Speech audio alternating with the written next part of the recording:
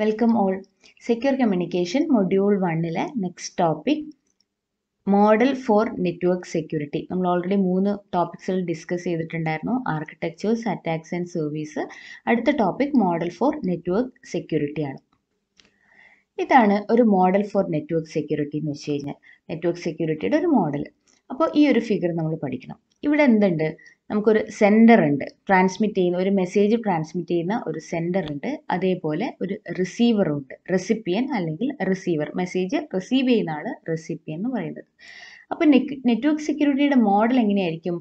Sender ഒരു message നെറ്റ്വർക്കിലൂടെ എന്ത് ചെയ്യണം? റിസീവറിൽ അയക്കണം. റിസീവർ അത് റിസീവ് ചെയ്യുകയും വേണം.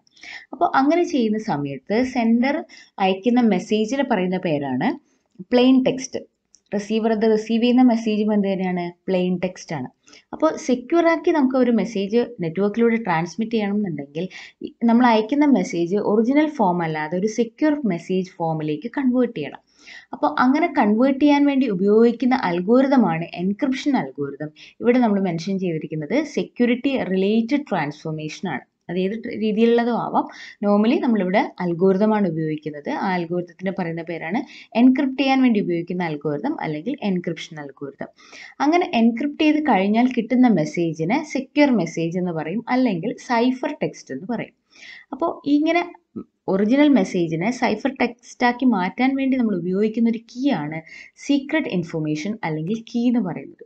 അപ്പോൾ നമ്മുടെ കയ്യിൽ പ്ലെയിൻ ടെക്സ്റ്റ് ഒറിജിനൽ മെസ്സേജ് ഉണ്ട്. That message is going to convert cipher text with the help of encryption algorithm and also the key അങ്ങനെ സൈഫർ ടെക്സ്റ്റ് ആക്കി മാറ്റിയ secure message is transmitted through an information channel or secure channel ചാനലിലൂടെ transmit ചെയ്തു. Receiver സൈഡിലെത്തുമ്പം ഇത് ഏത് ഫോമിലായിരിക്കും ഉണ്ടായിരിക്കുന്നത്? It will be in the form of cipher text ഇനി ഈ സൈഫർ ടെക്സ്റ്റിനെ എന്ത് ചെയ്യണം? തിരിച്ച് ഒറിജിനൽ മെസ്സേജ് അല്ലെങ്കിൽ ഒറിജിനൽ പ്ലെയിൻ ടെക്സ്റ്റ് റീഡ് ചെയ്യാൻ വേണ്ടിയിട്ട് ഇവിടെ എന്താ? ഒരു ഇവിടെ ഒരു ഇതേപോലെ സെക്യൂരിറ്റി റിലേറ്റഡ് ട്രാൻസ്ഫോർമേഷൻ ഉപയോഗിക്കണം. അവിടെ ഉപയോഗിക്കുന്ന ട്രാൻസ്ഫോർമേഷനെ നമ്മൾ ഡീക്രിപ്ഷൻ അൽഗോരിതം എന്നാണ് പറയുന്നത്. ഈ ഒരു റൗണ്ട് സർക്കിളിൽ കാണിക്കുന്നത് നമ്മൾ അൽഗോരിതമാണ് ഏത് അൽഗോരിതമാണ് ഉപയോഗിക്കാൻ പോകുന്നത് എന്നുള്ളതാണ്. അപ്പോൾ ഡീക്രിപ്ഷൻ അൽഗോരിതം ഉപയോഗിക്കുന്നു. ഇവിടെ ഉപയോഗിച്ച സീക്രട്ട് ഇൻഫർമേഷൻ നമ്മൾ ഇവിടെയും ഉപയോഗിക്കുന്നു കീ ഇവിടെയും ഉപയോഗിക്കുന്നു.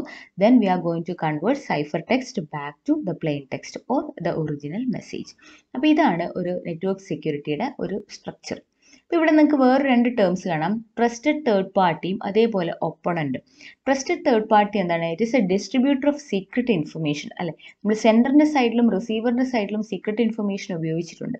അപ്പോൾ സെൻഡറിനും റിസീവറിനും എന്ത് വേണം? ഈ കീ ഡിസ്ട്രിബ്യൂട്ട് ചെയ്യുന്ന ഒരു തേർഡ് പാർട്ടി ട്രസ്റ്റഡ് തേർഡ് പാർട്ടിയാണ് distribution of distributor for of secret information എന്ന് പറയുന്നത്.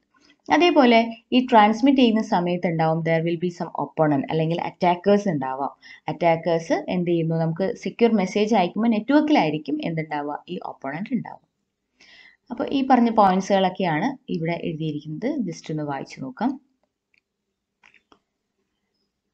അങ്ങനെ രണ്ട് മെസ് ഒരു മെസ്സേജ് സെൻഡർ റിസീവറിലേക്ക് അയക്കുന്ന സമയത്ത് നമുക്ക് കുറച്ച് this model request as to നമുക്ക് അങ്ങനെ ഈ ഒരു മോഡൽ ഉപയോഗിക്കണം എന്നുണ്ടെങ്കിൽ നമുക്ക് എന്തൊക്കെ ആവശ്യമായിട്ട് വേണം?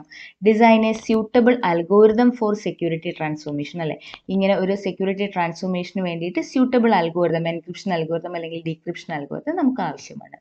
അടുത്ത എന്താണ്? അടുത്ത point we need to generate the secret information or keys used by the algorithm അപ്പോൾ ഈ അൽഗോരിതത്തിൽ ഉപയോഗിക്കാൻ വേണ്ടി ആദ്യം നമുക്ക് അൽഗോരിതം വേണം. ആ അൽഗോരിതത്തിൽ ഉപയോഗിക്കാൻ വേണ്ടിയിട്ട് എന്ത് വേണം? ഒരു സീക്രട്ട് ആയിട്ടുള്ള ഇൻഫർമേഷൻ വേണം. അത് നമ്മൾ എന്ത് ചെയ്യണം? ജനറേറ്റ് ചെയ്യണം. അങ്ങനെ ഇങ്ങനെ ഒരു സീക്രട്ട് ഇൻഫർമേഷൻ ഷെയർ ചെയ്യാനും ഡിസ്ട്രിബ്യൂട്ട് ചെയ്യാനും വേണ്ടി നമുക്ക് എന്ത് വേണം? ഒരു മെത്തേഡ് വേണം. We have to develop a method to distribute and share the secret information അങ്ങനെ ഉള്ള ഈ ഇത്രയും കാര്യങ്ങൾ ചെയ്തു കഴിഞ്ഞാൽ we have to specify a protocol നമുക്കൊരു പ്രോട്ടോകോൾ ആവശ്യമാണ്. എന്തിനു വേണ്ടിയിട്ടുണ്ട് that enabling the principal principals principals ഉദ്ദേശിക്കുന്നത് സെൻട്രും റിസീവറുമാണ് to use the transformation and secret information for a security service ഒരു സെക്യൂരിറ്റി സർവീസിനെ നമുക്ക് ഈ ട്രാൻസ്ഫോർമേഷനും അല്ലെങ്കിൽ ട്രാൻസ്ഫോർമേഷൻ എന്ന് വെച്ച് കഴിഞ്ഞാൽ പ്ലെയിൻ ടെക്സ്റ്റിനെ സൈഫർ ടെക്സ്റ്റ് ആക്കി മാറ്റുക. അതേപോലെ സീക്രട്ട് ഇൻഫർമേഷൻ ഉപയോഗിച്ചിട്ട് സീക്രട്ട് ഇൻഫർമേഷൻ എന്ന് വെച്ച് കഴിഞ്ഞാൽ നമ്മുടെ കീ ആണ്. അപ്പോൾ ഇതെല്ലാം യൂസ് ചെയ്യാൻ വേണ്ടി നമുക്ക് എന്ത് ചെയ്യണം? പിന്നീട് പ്രോട്ടോകോൾ അപ്പോൾ ഈ നാല് പോയിന്റ്സ് ആണ് ഇങ്ങനെ ഒരു സിസ്റ്റത്തിൽ ഒരു സെക്യൂരിറ്റി നെറ്റ്വർക്കിൽ ആവശ്യമായിട്ടുള്ള പോയിന്റ്സുകൾ ഇതോടൊപ്പം ചേർത്ത് പഠിക്കേണ്ട ഒരു ടേമാണ് നെറ്റ്വർക്ക് ആക്സസ് സെക്യൂരിറ്റി മോഡൽ ഇതിൽ നിങ്ങൾക്ക് കാണാം ഒരു ഒപ്പണന്റ് ഉണ്ട് ആക്സസ് ചാനൽ ഉണ്ട് ഗേറ്റ് കീപ്പർ ഉണ്ട് ഏതൊക്കെ ഇൻഫർമേഷനാണ് ആക്സസ് ചെയ്യാവുന്ന ആക്സസ് ചെയ്യാൻ പറ്റുന്നത് എന്നുള്ളതുണ്ട് അപ്പോൾ ഇവിടെ ഒപ്പണന്റ് എന്ന് മാർക്ക് ചെയ്തിരിക്കുന്ന എന്താണ്? ഹ്യൂമൺ ആണെങ്കിൽ അത് ഹാക്കേഴ്സ് ആയിരിക്കാം. അല്ലെങ്കിൽ വൈറസ് വേംസ് പോലെയുള്ള സോഫ്റ്റ്വെയർസ് ആവാം. അതാണ് ഒപ്പണന്റ് അറ്റാക്കേഴ്സ് ആണ് കോമൺലി ഉദ്ദേശിക്കുന്നത്. അപ്പോൾ ഇവർ എവിടെയാണ് അറ്റാക്ക് ചെയ്യുന്നത് ആക്സസ് ചാനലിലാണല്ലോ അല്ലേ? നമ്മളിവിടെ കണ്ടായിരുന്നു. ഓപ്പണന്റ് എവിടെയാണ് ഇൻഫർമേഷൻ ചാനൽ അല്ലെങ്കിൽ ആക്സസ് ചാനലിലായിരിക്കും എന്ത് ചെയ്യുന്നത്? അറ്റാക്കേഴ്സ് അറ്റാക്ക് ചെയ്യുന്നത്. അപ്പോൾ എന്തിനൊക്കെ വേണ്ടിയിട്ടാണ് computing resources processor memory input output output devices അല്ലെങ്കിൽ ഡാറ്റ അല്ലെങ്കിൽ പ്രോസസ്സേഴ്സ് അല്ലെങ്കിൽ സോഫ്റ്റ്വെയർ ഇതിനെല്ലാം കൺട്രോൾ ചെയ്യുന്നതാണ് ഇന്റേർണൽ സെക്യൂരിറ്റി കൺട്രോൾസ് എന്ന് പറയുന്നത്. അല്ലെങ്കിൽ ഈ ഇൻഫർമേഷൻ ഗ്യാദർ ചെയ്യാൻ വേണ്ടി എന്തുണ്ടാവാം? എന്തുണ്ട്? നമ്മുടെ ഇവിടെ ഒരു ഒപ്പോണന്റ് നിൽപ്പുണ്ട്. അപ്പോൾ ഇൻ ബിറ്റ്വീൻ ഇതിന്റെ ഇടയിൽ എന്തുണ്ട്? എ ഗേറ്റ് കീപ്പർ ഫംഗ്ഷൻ ഉണ്ട്. ലൈക്ക് ഫയർ വോൾ പോലെ ഒരു ഗേറ്റ് കീപ്പർ ഫംഗ്ഷൻ വെച്ചിട്ടുണ്ട്. അപ്പോൾ ഈ ഒരു സിസ്റ്റത്തിൽ നമ്മൾ എന്താ ചെയ്യുന്നത്? We have to select an appropriate gate keeper appropriate ആയിട്ട് അപ്രോപ്രിയേറ്റ് ആയിട്ടുള്ള ഒരു ഗേറ്റ് കീപ്പർ ഫംഗ്ഷൻ നമ്മൾ ഉപയോഗിക്കുക. ലൈക്ക് ഫയർ വോൾ നമ്മൾ ഉപയോഗിക്കുക. അപ്പോൾ അതെന്താ ചെയ്യുന്നത്? It include password based login procedure that is design to deny access to all but authorized users authorized users ആയിട്ട് ആയിട്ടല്ലാതെ ബാക്കി എല്ലാവരും എല്ലാവരുടെയും ആക്സസ് എന്ത് ചെയ്യുക ഡിനൈ ചെയ്യുക എന്നുള്ളതാണ് gate കീപ്പറുടെ function password password based log login procedures വെക്കുക അപ്പോൾ പാസ്വേഡ് ബേസ്ഡ് ലോഗിൻ പ്രൊസീജിയേഴ്സ് കടന്നു വരുന്ന ഓതറൈസ്ഡ് ആയിട്ടുള്ള പേഴ്സൺസിന് മാത്രമേ എന്ത് ചെയ്യാൻ പറ്റുള്ളൂ? ഈ ഒരു ഇൻഫർമേഷൻ സിസ്റ്റത്തിൽ ആക്സസ് കൊടുക്കുകയുള്ളൂ. വേറെ ആർക്കും ഗേറ്റ് കീപ്പർ ഫംഗ്ഷൻ എന്ത് ചെയ്യില്ല? ആക്സസ് കൊടുക്കില്ല.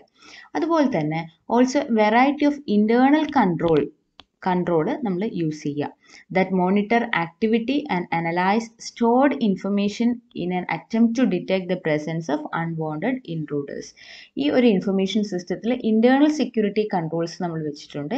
ഇത് എന്താണ് ചെയ്യുന്നത്? That that monitor and analyze all the activities വരുന്ന ആക്ടിവിറ്റീസിന്റെ ആക്ടിവിറ്റീസിനെ മോണിറ്റർ ചെയ്യും അനലൈസ് ചെയ്യുകയും ചെയ്യും. അപ്പോൾ എന്തൊക്കെയാണ് ചെയ്യുന്നത്? ഏതെങ്കിലും അൺവാണ്ടഡ് ആയിട്ടുള്ള ഇൻട്രൂഡേഴ്സ് വരുന്നുണ്ടോ? നമ്മുടെ സ്റ്റോർഡ് ഇൻഫർമേഷനിലേക്ക് എന്തെങ്കിലും അൺവാണ്ടഡ് ആയിട്ടുള്ള ഇൻട്രൂഡേഴ്സ് വരുന്നുണ്ടോ എന്നുള്ള മോണിറ്റർ ചെയ്യുന്നത് ഇതിനകത്തുള്ള ഇന്റേർണൽ സെക്യൂരിറ്റി കൺട്രോളാണ് അപ്പം ഇത്രയും ആണ് നമ്മുടെ ഈ ഒരു മോഡൽ ഫോർ നെറ്റ്വർക്ക് സെക്യൂരിറ്റിയിൽ പഠിക്കാനുള്ളത്. താങ്ക്